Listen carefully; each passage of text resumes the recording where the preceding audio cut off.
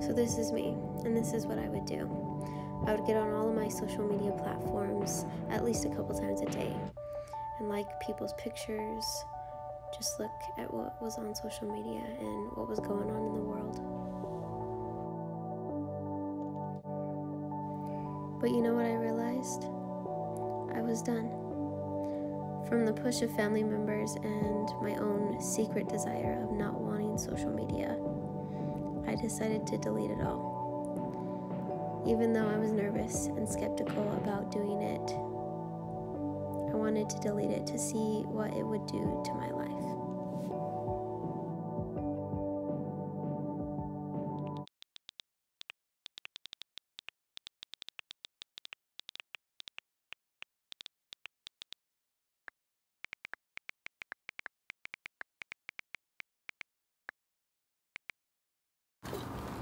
I started to dedicate more of my time to school and my job, and I actually started to enjoy it more.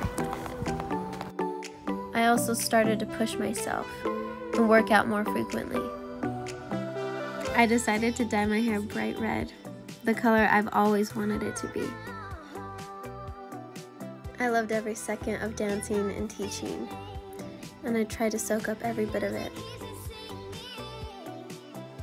I started to enjoy the little things in life and the amazing people around me.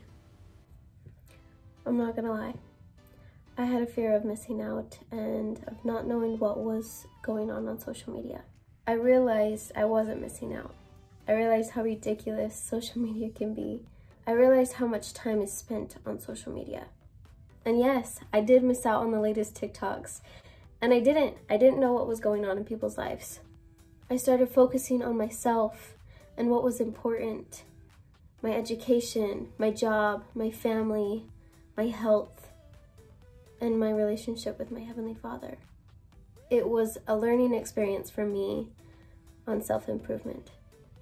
Doing this experiment, it cut down half my time that I was on my phone, going from eight hours or more to four hours or less a day. And I learned that I don't need it. I don't need social media in my life. We don't have to spend all of our time on it.